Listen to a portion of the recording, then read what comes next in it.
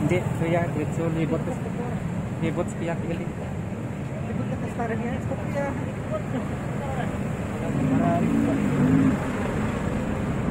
Stop perhatian. Balik ke sana. Pintu kan.